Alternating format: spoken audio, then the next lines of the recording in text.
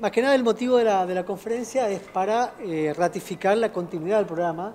Ustedes saben bien que el gobernador Pasalaco anunció en el mes de eh, primero día de agosto la prórroga del programa que iba hasta fines de diciembre, acordado con el, Centro de Panaderos Industriales de Misiones, a quienes siempre agradecemos por la predisposición que han tenido en, bueno, en acompañar este programa que busca justamente eh, cuidar el bolsillo de las familias misioneras.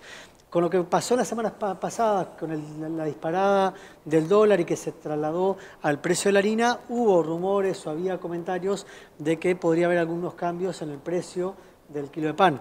Entonces, lo que decidimos, eh, bueno, dejar pasar la semana pasada, ver qué pasaba un poco con el panorama económico, porque también era una cuestión que, nos superaba a todos, pero en función de, lo que ha ocurrido, eh, nos hemos reunido ya con el Centro de Panaderos Industriales, ellos han resuelto, por supuesto, ratificar la continuidad del programa hasta fin de año, es decir, mantener el precio del pan hasta 50 pesos el kilo y, este, por supuesto, eh, con la continuidad del programa, el beneficio que le da el gobierno provincial del descuento en la tarifa eléctrica en las mismas condiciones que se, eh, que se acordó para todo lo que resta del año. Así que eso es más que nada para transmitir tranquilidad en cuanto a que el programa sigue vigente a pesar de los avatares económicos que han ocurrido en las últimas semanas. ¿Qué porcentaje es el subsidio que reciben? El porcentaje del subsidio es eh, aquellas panaderías, es, son aquellos, aquellos comercios que se dedican a la elaboración de pan, ¿no? Aquellas panaderías que tengan un consumo de hasta 10.000 kilovatios por mes, el descuento del 50% en la tarifa de luz. Y que los que superen los 10.000 kilovatios tienen un descuento del 35%. Esto va desde que se adhieran hasta el 31 de diciembre de este año. ¿Esto sirve como ejemplo para otras provincias? Tengo entendido que sí. Acá Don Acosta les puede explicar algunas anécdotas que han tenido ellos que participan en algunas reuniones a nivel nacional, donde, bueno, Santa Fe o Buenos Aires eh, han pedido información de cómo se aplica el beneficio en misiones, que lo han visto como algo inédito y algo muy interesante para poder replicarlo en esas provincias. ¿Por, ahora solamente pan francés? Por ahora es el pan francés en cualquiera de sus variantes, ¿no? El pan eh, francés que tiene muchas variantes, todas ellas están comprendidas en el precio tope de hasta 50 pesos el kilo. Bueno, el ministro ya ha dicho la mayor parte de las cosas. Sí, algunos productos han aumentado, sí, por supuesto, porque no solamente harina, sino toda la materia prima, ¿no es cierto?, que ha aumentado. Así que, como ya estaba hablado con el ministro de este tipo, que no, esperábamos esta corrida cambiaria que hubo, nos asustamos, sí.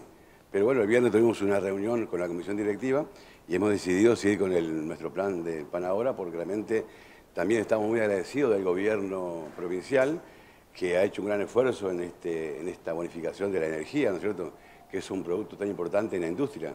Así que vamos a seguir apoyando el Abra Pan hasta diciembre, como está pactado. Y lo demás ya lo dijo todo el ministro. ¿Cuántas panaderías están en el programa? Hasta ahora tenemos 110, estamos relevando. Eh, vamos a seguir, sumando porque ya siguen los, los viajes con el ministro. Tenemos el día, viernes, ¿no? El día viernes, si podemos, hacemos apóstoles. apóstoles. Y algo más. Y Concepción. Y Concepción. Así que vamos a seguir. Queremos que se beneficien muchas panaderías, no solamente de Posadas, sino también el interior. ¿Con este programa se sostuvo las ventas? ¿Cómo están? Y bueno, han mermado un poco las ventas, y han bajado, han bajado. Así que suponemos que si aumentamos el pan va a ser peor. No, es la solución. ¿Se va a suspender el programa la semana pasada? Pero había panaderías que cobraban cerca de 60 pesos el kilo, o sea, más de lo que estaba pautado. No, no, no nunca se suspendió el programa, sino que algunos panaderos no están adheridos y lo han llevado a su criterio, ¿no es cierto? Este, justamente estuvimos el día sábado en una panadería que lo había subido, bueno, retrasó el precio a 50 porque se adhirió al plan del pan ahora. Se habló que en la provincia hay 400 ¿Cómo han sido las ventas de esas panaderías que no están dentro del programa? Mira, creo que hay, más todavía. 400 tenemos un reglamento de, una información de, un sindicato de panaderos y el viernes dijeron que hay más, cerca de 700 panaderías. Este, lo que pasa es que esto ayudó también en el interior a subir un poquito el nivel del pan. Porque hay pan barato en el interior, hay de 40, 45, 30. El tema son las panaderías que están este, al margen, ¿no? que están en negro. Esas son las competencias que tenemos, los problemas que tenemos los panaderos que estamos este, aportando todo lo que es legal, ¿no? A raíz de la corrida de la suba de precios, ¿en cuánto o qué porcentaje aumentaron el otro tipo de panificados? No, nosotros nos pusimos de acuerdo, muy poquito, la factura aumentó el 10%. Eh, fue una cosa sensata, ¿no es cierto? Este, así que es necesario porque no se aguanta si no ese tipo de cosas. ¿Pero se vendrán más aumentos? Por, ahora no, por ahora no, la harina se ha quedado quieto, el dólar también ha bajado un poquito, así que creo que no, que esto siga para bien. Si no estaban dentro del programa, ¿cuánto debería costar el pan francés hoy? Y bueno, en Buenos Aires anda un promedio de 80 pesos, que ese es el promedio del, pan- del precio de vendería.